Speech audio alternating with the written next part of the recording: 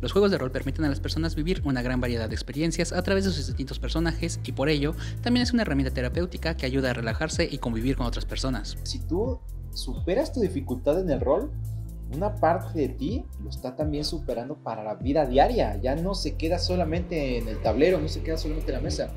El trabajo se hace real.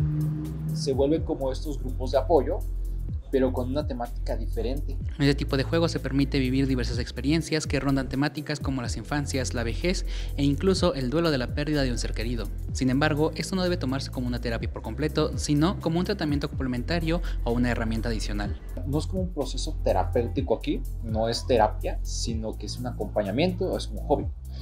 Pero sí logramos focalizar pequeños detalles de potenciar. Como un hobby de complemento, funciona porque además es esta posibilidad de que lo que se quedó ya atorado termine de salir o que se le dé forma.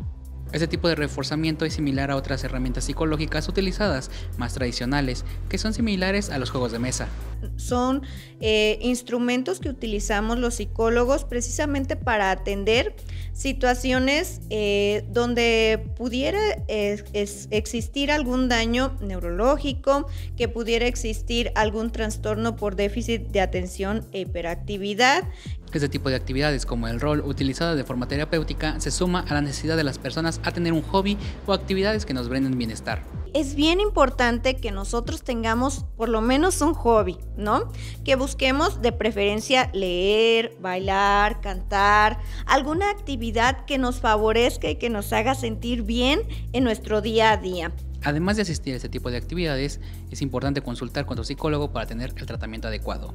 Reporto para Mega Noticias Miguel Ángel Santos.